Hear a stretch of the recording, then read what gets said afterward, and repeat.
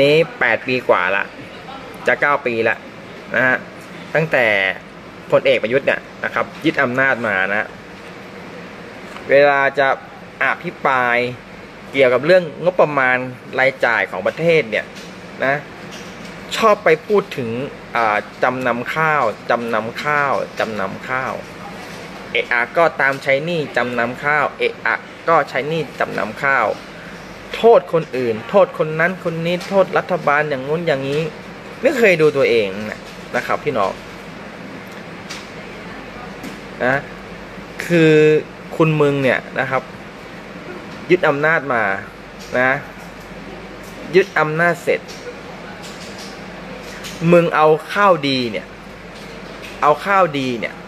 ข้าวที่มีคุณภาพดีไปขายในราคาที่ถูก ไปขายให้กับนายทุน ทำเป็นอาหารสัตว์ คือข้าวเนี่ย สภาพดี แต่คุณมึงประยุทธ์เนี่ยนะเอาข้าวไปขายให้กับกลุ่มนายทุน ในราคาถูกเป็นข้าวไม่ดีเป็นข้าวเสีย ไปขายให้แบบปุ๊บทำเป็นอาหารสัตว์ นี่ไง แล้วก็มาพูดว่า ใช้นี่ให้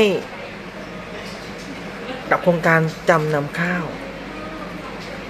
เอะอะก็จำนำข้าวจะเก้าปีแล้วบอกว่า ตามใช้นี่จำนำข้าว อย่างโน้นอย่างนี้ นั่นคือ ประยุทธ์จันโอชา อภิปรายในสภาเมื่อวานนี้พี่น้องครับ เพราะเมื่อวานนี้แล้วก็วันนี้คือสภาเนี่ยมีการประชุมอภิปรายงบประมาณปี 2566 ซึ่งผมได้ข่าวมาว่า เดี๋ยวฝั่งฝ่ายค้านเนี่ย จะคว่ำร่างงบประมาณของรัฐบาลประยุทธ์นะนะครับ สวัสดีพี่อักษรบุญรอดนะครับคำหาแดกไงใช่ฮะ จริงฮะ คือจะเก้าปีแล้วอะประยุทธ์คุณมึงเก้าไม่พ้นคำว่าจำนำข้าวนะครับ เดี๋ยวก็จำนำข้าวบ้างละเดี๋ยวก็ รัฐบาลชุดที่แล้วบ้างละใครทำเอาไว้อย่างง้นอย่างนี้ ไม่เคยโทษตัวเองแปดกว่าปีที่ผ่านมาเนี่ย เคยทำอะไรมั่งเคยค้าขายเคยหาเงินเข้าประเทศอะไรมาก นอกจากกู้อย่างเดียว ตอนนี้ผมเคยไลฟ์นะฮะว่าตอนนี้ประเทศไทยเรามีหนี้สาธารณะทะลุเพดาน ทะลุ GDP ในประวัติการเลยก็ว่าได้ ยอดหนี้สูง แล้วก็พอกู้หนี้ทะลุชนเพดานของของกฎหมายนี่นะว่า 60%มีการขยายเพดานนี่กู้ไปอีก ทะลุไปอีก นี่คือประยุทธ์จันโอชาครับพี่น้อง ผมเคยไลฟ์ไปเมื่ออครั้งที่แล้วไลฟ์ที่แล้วว่าประเทศไทยเราเนี่ย ต้องเสียดอกเบี้ย ที่ประยุทธ์จันโอชาไปกู้มาเนี่ยปีหนึ่งนะฮะสองแสนสี่หมื่นล้านบาท มหาศาลนะที่เฉพาะดอกเบี้ยเท่านั้นนะต่อปี2 4 0 0 0 0ล้านบาทนะครับ เฉลี่ยคิดเป็นต่อนาทีนะฮะเราเสียดอกเบี้ยต่อนาทีนะ ต่อนาที4แสนกว่าบาท นี่คือเรื่องจริงพี่น้องครับ ที่หลายคนอาจจะไม่รู้นะ นี่คือข้อมูลจริงนะนะครับ สมองไม่พัฒนานึกอะไรไม่ออกก็จำนำข้าว อ่า ถูกต้องครับนะครับ พี่น้องจำได้ไหมฮะโดยเฉพาะพี่น้องคนลากหญ้าคนทำนานะ พี่น้องจำได้ไหมนะ เมื่อสิบห้าปีที่แล้วนะพี่น้องครับ ตอนนั้นยุคไทยรักไทยเป็นรัฐเป็นรัฐบาลพี่น้องครับนำโดยอดีตนายกทักษิณชินวัตรโครงการเดียวกันเลย โครงการจำนำข้าว ในตอนนั้นนะฮะชาวนาดื่มตาอ้าปากลาราคาข้าวเนี่ย ต่อตันสองหมื่นห้าคือชาวนาทำข้าวแล้วรวยอะ่ะ ทำนาแล้วมีเงินเก็บทำนาแล้วมีเงินซื้อรถซื้อทองใส่ นั่นคือยุคเฟื่องฟูนะของอดีตนายกทักษิณชินวัตรนะผู้นำรัฐบาลในขณะนั้นของพรรคไทยรักไทย ก่อนที่จะถูกยึดอำนาจนะ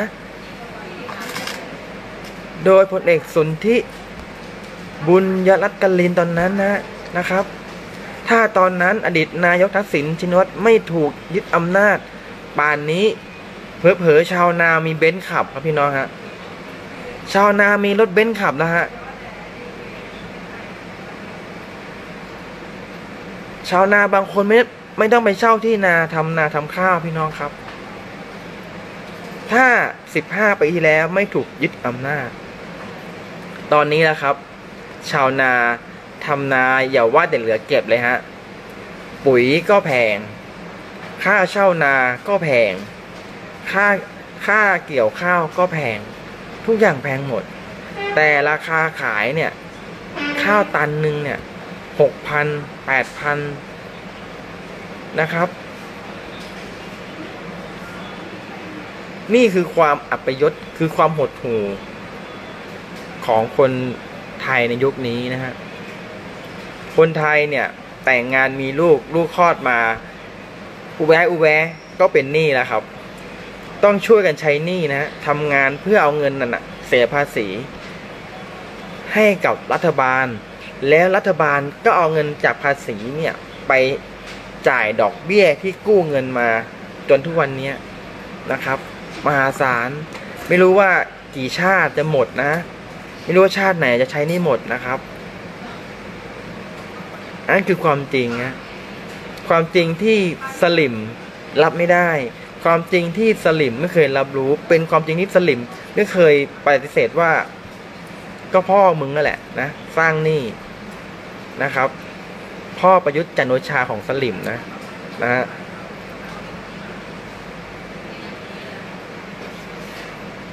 คือความความหดหู่ของคนไทยตอนนี้นะครับ ทุกอาชีพตอนนี้นะ เอาเป็นว่า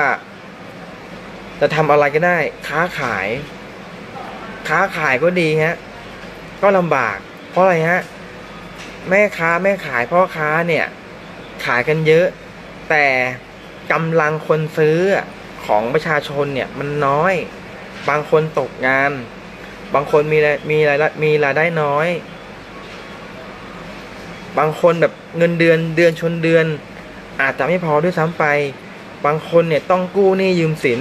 กู้รายวันดอกเบี้ยรายวัน ดอกเบี้ยสูง ดอกเบี้ยนอกระบบหลายหลายอย่างยิ่งเปิดเทอมมานี้นะพ่อแม่ผู้ปกครองเนี่ยนะครับ ต้องดิ้นรนเอาอันนั้นไปจำเอานั้นไปจำไปกู้หนี่ยืมสินหลายคนนะทุกคนทุกคนเป็นแบบนี้ฮะ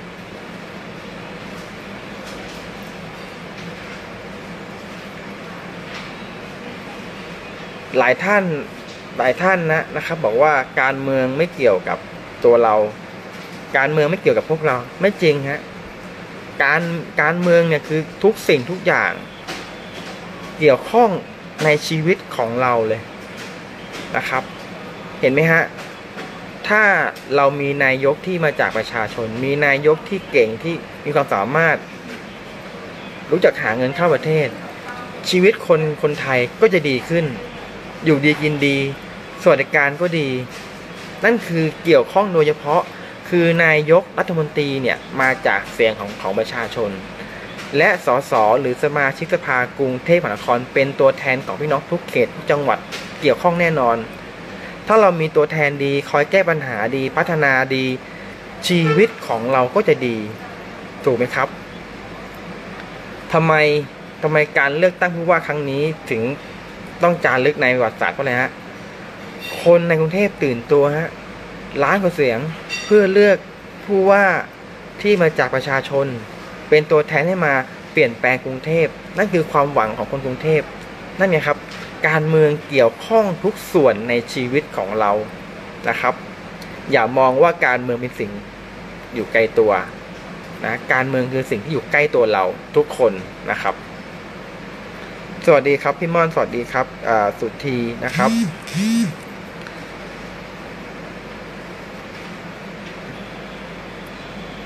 ถูกครับบอลพูดถูกแล้ว จริงครับพี่น้องฮะอย่างเราจังหวัดหนึ่งนะครับ มันจะมีแบ่งเขตในการเลือกตั้งสสนะครับ แต่ละเขตเนี่ยสสจะรับหน้าที่ดูแลบำรุง พัฒนา แก้ไขปัญหานำปัญหาของพี่น้องแต่ละเขตนั้นน่ะ เข้าสภา เพื่อเรียกเพื่ออภิปรายบอกกับคนในสภาบอกกับประธานสภา บอกกับนายกรัฐมนตรีว่าคนในพื้นที่จังหวัดเนี้ยเขตเนี้ยมีปัญหาอะไรบ้าง และต้องการงบประมาณเนี่ยเอาไปพัฒนาเอาไปแก้ไขปัญหาแต่ละเขตของที่ตัวเองดูแลอยู่ นั่นคือหน้าที่สสถ้าเราได้สสดีสสมีความซื่อสัตย์มุ่งมั่นมีอุดมการ ไม่ทอยศเสียงของประชาชน จังหวัดนั้นเขตนั้นที่มีสสคนนั้นดูแลอยู่จะอยู่ดีกินดีนะครับ ปัญหาได้รับการแก้ไขโดยไวนะครับ ก็ฝากพี่น้องทุกท่านนะครับ ก็อย่าลืมนะฮะถ้ามีการเลือกตั้งครั้งไหนนะครับ อย่าลืมไปใช้สิทธิ์ใช้เสียงเลือกคนของพักจากพักจากพักฝั่งประชาธิปไตยนะครับ ถ้ามีผู้นำดีมีความสามารถคนตามหลังก็จะมีความสุขครับ ไม่ใช่แม่งไม่เคยรับรู้เรื่องของประชาชนเลยนะเอาแต่พวกพ้องนะครับเห็นไหมฮะถ้าเรามีมีผู้นำเก่ง ก็นำพาคนทั้ง 70 ล้านคนทั้งประเทศเนี่ยจเจริญ แต่ถ้ามีผู้นำโง่ๆอย่างประยุทธ์จันโอชาที่ถามวัวตอบควาย ถามหมาตอบแมว ถามแมวตอบหมา ถามคนตอบแบบมาหมาก็จะ อย่างที่เห็นแล้วครับ เห็นไหมฮะน้ำท่วมให้เลี้ยงปลายางพาราให้ไปขายดาวอังคาร น้ำท่วมให้คนย้ายบ้านไปอยู่ที่สูง ขายของไม่ดี ก็ไปขายอย่างอื่น นั่นคือคำพูดของนายกที่ชื่อประยุทธ์จันโอชา นั่นไงครับ เพราะประยุทธ์เนี่ยไม่ได้มาจากเสียงส่วนใหญ่ของประเทศไทย นะครับ เขาเลยไม่สนใจใยดีความเดือดร้อนของพี่น้องประชาชน เขามีแต่ละเมอเพ้อพบนะหลงตัวเอง มโนไปเองว่าคนส่วนใหญ่ของประเทศไทยเนี่ย ชื่นชอบเขาชื่นชอบเขายังสนับสนุนเขายังให้โอกาสเขาทั้งๆทที่รู้เนี่ย มันเป็นสิ่งหลอกลวง เพราะอะไรฮะ พี่น้องสังเกตไหมครับว่าทำไมเวลาพลเอกประยุทธ์จันโอชาเนี่ยไปลงพื้นที่ทำไมต้องสั่งการให้มีเจ้าที่ตำรวจเนี่ยมาคอยอารักขา มีคอฟอมามาคอยกันแนวประชาชนมีรถจีโน่มามารอเพราะอะไรฮะกลัวประชาชนขับไล่ตะโกนด่าเห็นไหมฮะผิดกับผู้ว่า อาจารย์ชัดชาติสิทธิพานที่มาจากเสียงคนกรุงเทพล้านกว่าเสียงนะไปที่ไหนคนก็มาต้อนรับมาคอมารอจับมือมาถ่ายรูปเอาปัญหามาบอกแบบใกล้ชิด อาจารย์ชัดชาติไม่ไม่มีคอฝอมันยืนกั้นแนว ไม่มีรถจีโน่อาจารย์ชัดชาติเดินทางรถไฟฟ้า BTS รถเมย์รถนั่นคืออาจารย์ชัดชาติ นั่นคือผู้ว่าที่มาจากประชาชนเป็นผู้นำของคนกรุงเทพที่มาจากเสียงของประชาชนคนกรุงเทพ นั่นเองฮะเขาไปได้ทุกที่ ไม่ต้องมีรถนำขบวน ไม่ต้องนั่งรถเบนซ์ไม่ต้องมีอารักขาบอดี้การ์ดมีเจ้าที่ตำรวจมีคอฟอคอยติดตามคอยมาต้อนรับเห็นไหมฮะต่างกัน นั่นคือผู้นำที่มาจากเสียงของประชาชนร้อยเปอร์เซ็นต์นะสวัสดีหมูน้อยนะ ถืออะไรเขาไม่เต็มกับอ๋อ สวัสดีครับม่อน สวัสดีพี่อ้อครับพี่นะครับ สวัสสวัสดีสิ่งดีๆ ขอบคุณครับนะวันนี้ก็แวะมาทักทายกันได้นะครับ นะใครที่ว่างสวัสดีพี่อัศสมาแดงวาวานะฮะพี่อักษรบุญรอดนะครับ ผม ก็สวัสดีอีกครั้งนะ สวัสดีวันหวยออก ก็ขอให้ทุกคนโชคดีมีชัยเฮงๆนะสี่โมง รับทรัพย์รับเงินกันทั่วหน้านะครับผมทุกวันนี้มันยังไม่เคยโทษตัวเองเลยสักครั้งครับ แปลกใจมากมึงเป็นชายชาทหารได้ยังไงนะครับ ถูกฮะแปดกว่าปีประยุทธ์ไม่เคยโทษตัวเองนะครับ ไม่เคยโทษตัวเองเลยนะ ย้อนไปดูทุกคลิปปายุทธไม่เคยโทษตัวเอง โทษประชาชน โทษนักการเมือง โทษรัฐบาลครั้งอ่ายุคที่แล้ว โทษคนอื่น โทษนักการเมือง โทษอดีตนายกที่สำคัญโทษจำนำข้าว ก้าวข้าไม่พ้นจำนำข้าวนะนะครับ สวัสดีนัทนัทพลเอ้ยนัทพลนะครับ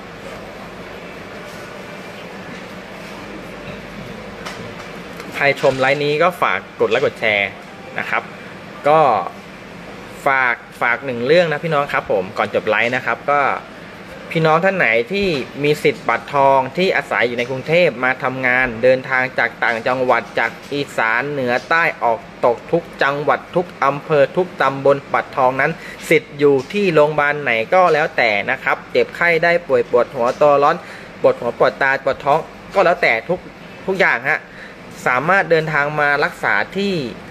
ปอสหคลินิก รามคำแหงซอย 100 ได้เลย ไม่ต้องจองคิวไม่ต้องโทรนัดนะฮะ เดินทางมาได้เลยไม่ต้องพกตังมาแม้แต่บาทเดียวพกแต่บัตรประชาชนใบเดียว ฟรีทุกอย่างนะครับ และ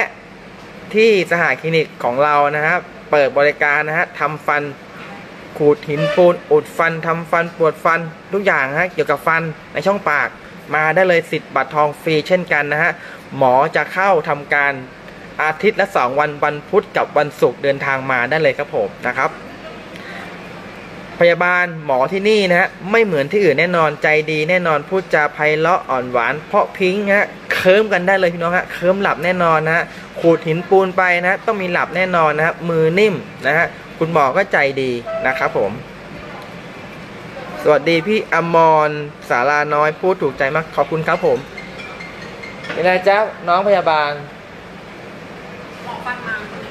หมอฟันมาไหมไหมครับวันนี้มาแล้วคะ เข้ามาได้เลยค่ะอ่า นี่เลยตอนนี้ก็นะฮะ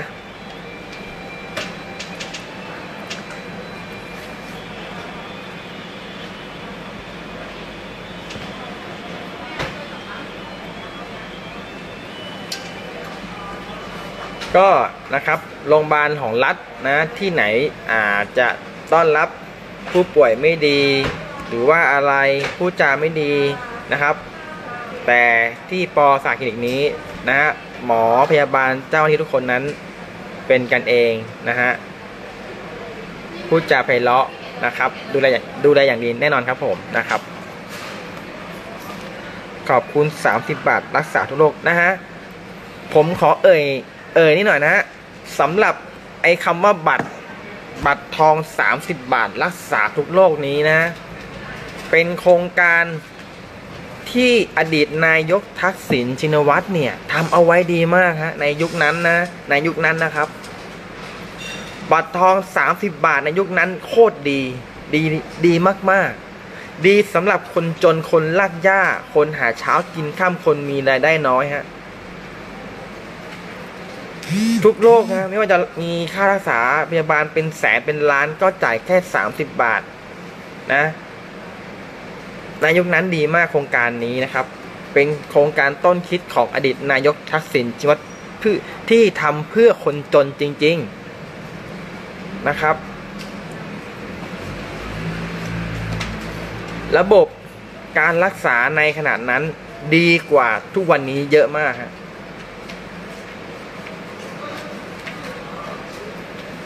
เพราะคนที่ต้นคิด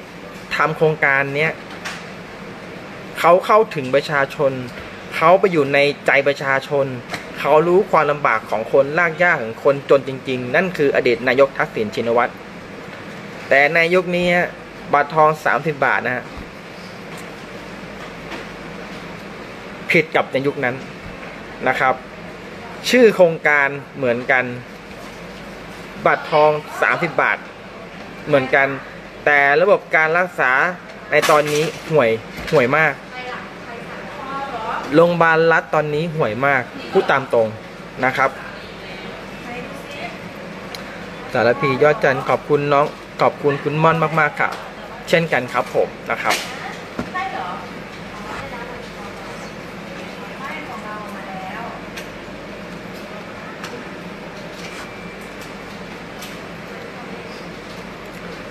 วันนี้ผมขอไลฟ์สดงดคำหยาบดาบ ประยุทธ์จันโอชาหนึ่งวันนะฮะ วันนี้เป็นวันบันดี วันหวยออกนะ งดด่าประยุทธ์ด้วยคำหยาบคายนะครับหวยแตกเลยค่ะ จริงฮะพี่น้องฮะ อันนี้ผมไม่ได้มา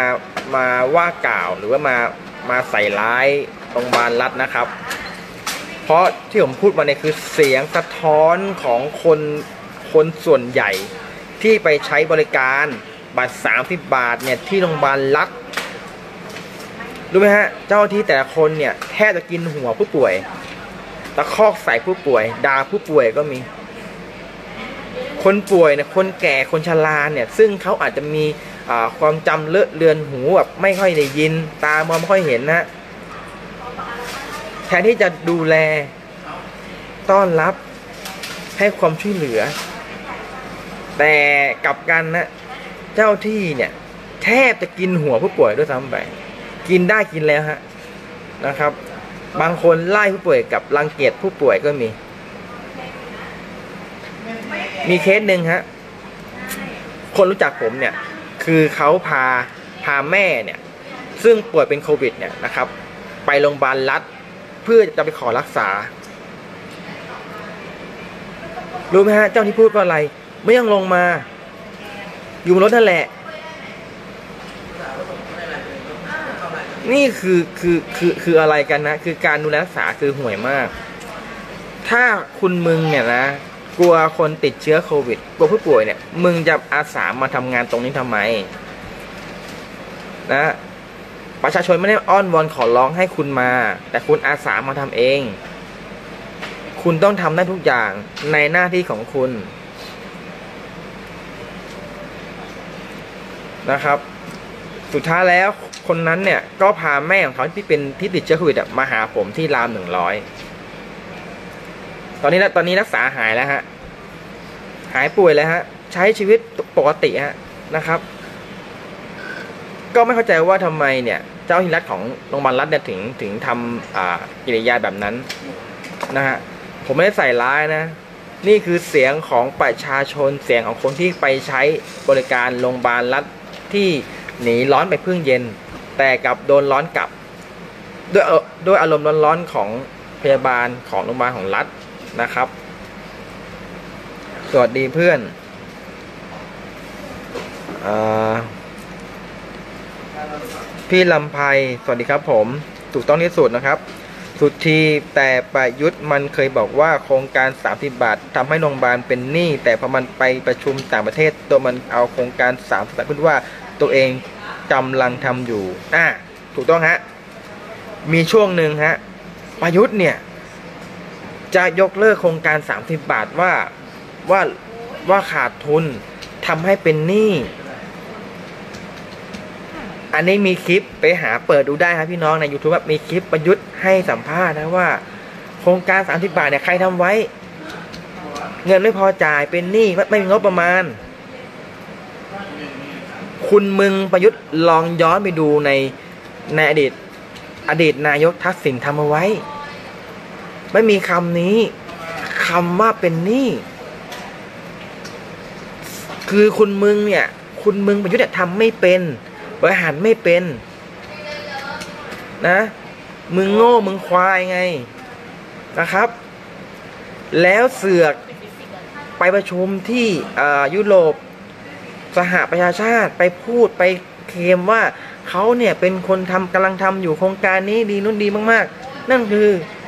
นั่นคือคนที่ ขอโทษนะครับ ตอแหลสตอเบอรี่นะครับ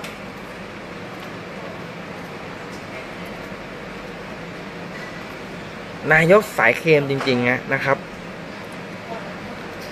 โครงการดีมากค่ะ แต่ตอนนี้ผู้นำไม่สนใจโรงพยาบาลจัดตามลุงลุงเกือบยกเลิกอีกต่างหาก นั่นเนี่ยฮะ ใช่ค่ะ น้องม่อนพูดถูกค่ะ เจอมากับตัวเองแล้วค่ะ พูดจาไม่ดีกับคนที่มารักษา นะฮะน่ะนั่นนั่นคือโรงพยาบาลรัฐ ระบบการรักษา ห่วยแตกนะครับ เรื่องนี้เรื่องอโรงพยาบาลรัฐที่อ่าระบบการรักษาห่วยแตกเนี่ย ผมได้นำเรื่องนี้ปัญหานี้นะครับ ไปบอกกล่าวให้กับผู้นำฝ่ายค้านคือนายแพทย์ชนน่านสสและหัวหน้าพักของพักเพื่อไทย ผมเอาเรื่องนี้ไปบอกกับท่าน นะครับ ผมหวังว่าท่านเนี่ยจะนำเรื่องนี้ไปแก้ไขในตอนที่ท่านเนี่ยนะครับ เป็นผู้จัดตั้งรัฐบาลนะครับ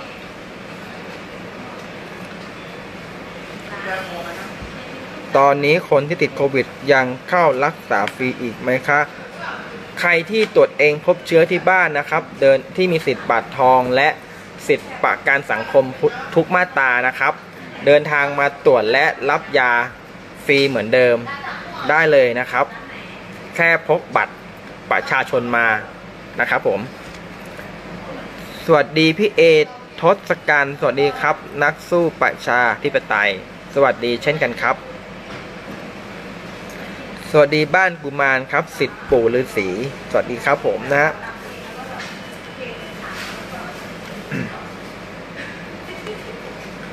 และนะครับผมหวังว่านะคะผมผมหวังว่าปีหน้าปีหน้าจะมีการเลือกตั้งใหญ่ ผมหวังว่าจะเห็นภาพแลนสไลด์คนไทยทั้งประเทศส่วนใหญ่นะ จะเทคะแนนให้กับพรรคการเมืองที่ยืนหยัดกับประชาชนที่ยืนอยู่ฝั่งประชาธิปไตยที่ไม่ยกมือสนับสนุนให้กับประยุทธ์จันโอชาเป็นนายกที่ผ่านมานะครับ แล้วพี่น้องจำไว้นะครับว่าพักไหนพักอะไรล่ะ พักไหนพักอะไรล่ะ ที่มันยกมือให้ประยุทธ์เป็นนายก ที่มันพูดอย่างทำอย่างที่มันตบัดสัตย์อย่าไปเลือกอย่าไปลงคะแนนให้แค่นั้นเองพี่น้องครับ ง่าย ๆนะครับ พี่พล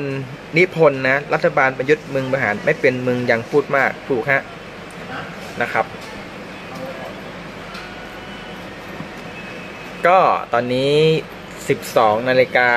50หรือเที่ยงจะบ่ายโมงนะฮะ เดี๋ยวผมก็จะขอจบไลฟ์ไปทานข้าวเที่ยงก่อนนะครับ ก่อนจบไลฟ์นี้ผมฝากไว้นะฮะสำหรับคนจนคนหาเช้ากินข้ามคนลากญาติที่มีสิทธิ์บัตรทอง 30 บาท รักษาทุกโรคนะฮะที่ทำงานอยู่ในกรุงเทพมหานครทุกเขต ไม่ว่าบัตรทองนั้นจะมีสิทธิ์รักษาอยู่โรงพยาบาลไหนก็แล้วแต่จะอยู่จังหวัดไหนก็แล้วแต่จะอยู่ภาคไหนก็แล้วแต่ ที่อยู่ในกรุงเทพนะฮะ